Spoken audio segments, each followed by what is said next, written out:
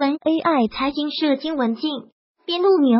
三季度财报披露步入尾声，各家公司截至目前的经营业绩一目了然，同行之间的业绩对比也被泼上了台面。空调领域，我是世界老大，他美的算老几？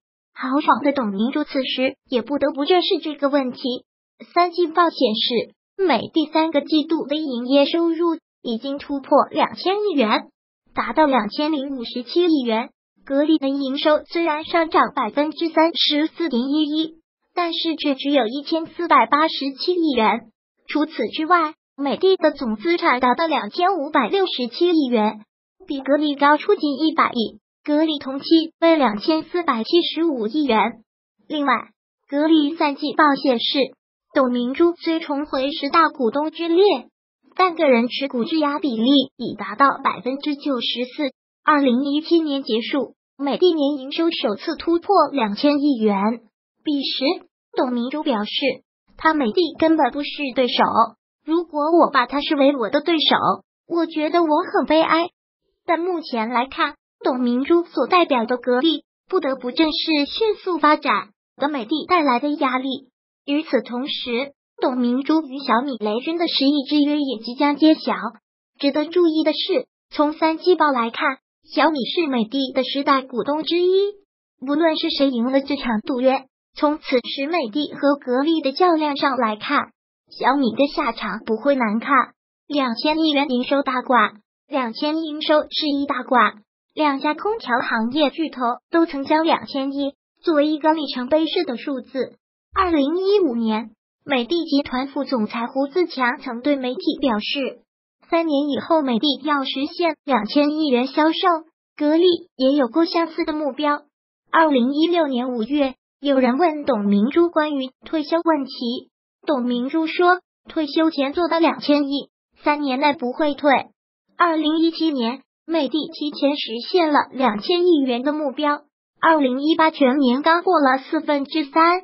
美的营收已经超过两千亿元，格力就在路上。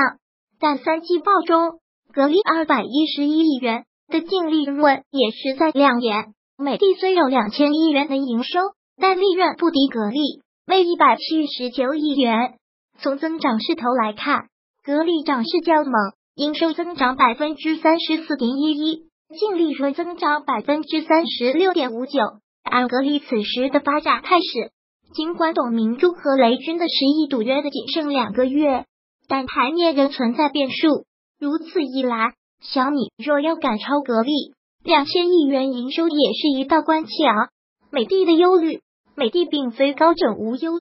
二零一八年十月二十九日，因资产重组经历了五十天的停牌的美的复牌，重组的双方美的集团和小天鹅股票在复牌后双双大跌，美的集团跌停。报收三十六点二七元，小天鹅 A 股价下跌百分之七点八七，报于四十四点零六元每股。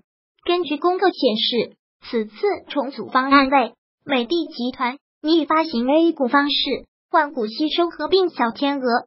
经过一系列换购计算之后，美的集团为本次换股吸收合并发行的股份数量合计为三点四二亿股。交易价格为换股吸收合并购买资产的成交金额为一百四十三点八三亿元。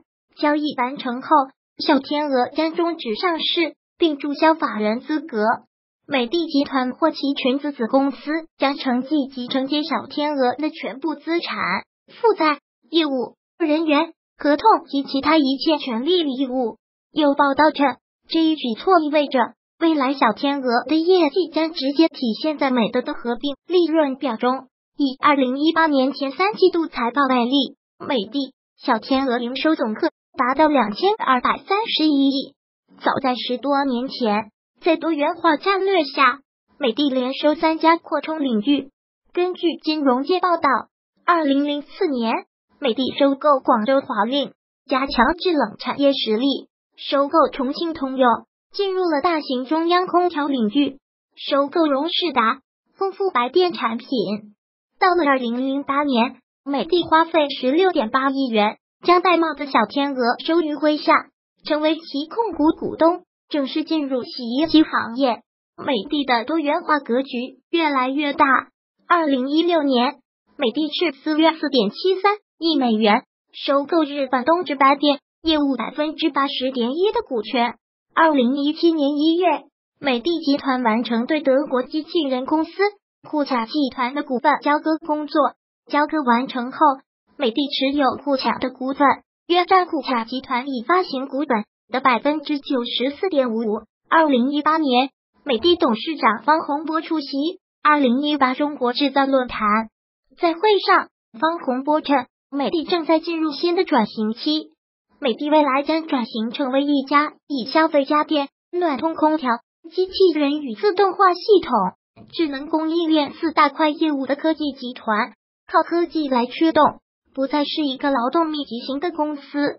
在会上，方洪波也坦言，美的当时的危机，全球经营能力、品牌力、盈利能力等提升有待加快，企业整合进程和新产业系统构想落地需加速，国内市场深度转型迫在眉睫，组织出现结构性懈怠的情绪和现象等等。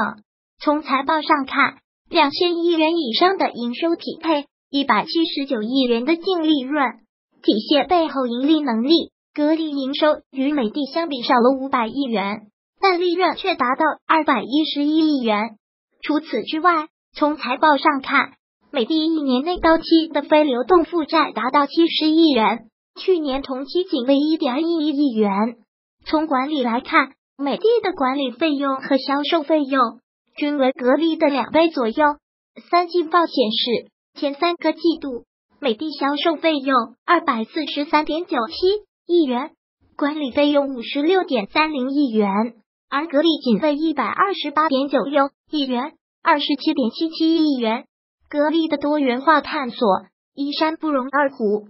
在空调领域，美的与格力的较量一直存在。从市值来看，截至十月三十一日收盘，美的股价三十七点零四元每股。市值两千四百五十四亿元，格力股价三十八点零六元每股，市值两千二百八十九亿元。